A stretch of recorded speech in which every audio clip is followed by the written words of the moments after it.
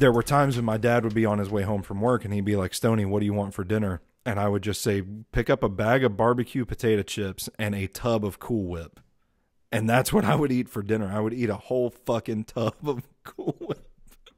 So I'm not going to judge anybody for taking the top off of a of a fucking Hershey syrup bottle and just tipping that bitch back. Like you do you, buddy. I'm the guy that ate a whole tub dinner. of Cool Whip in one sitting. So I, if anybody's on your side, I'm on your side. I love that your dad's like, okay, you you got it, son.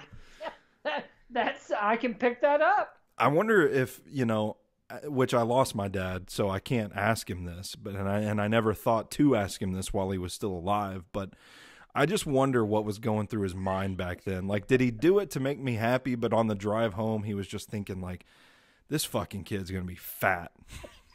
This is going to ruin his life. And I can't tell him no. If that's what he wants for dinner, then so be it. Oh, back then I'm like.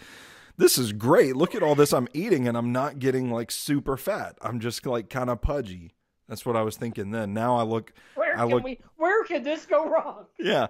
Now I look down at my fucking belly and I'm like, why couldn't y'all just tell me no? Why couldn't why couldn't y'all just tell me that it was a bad idea?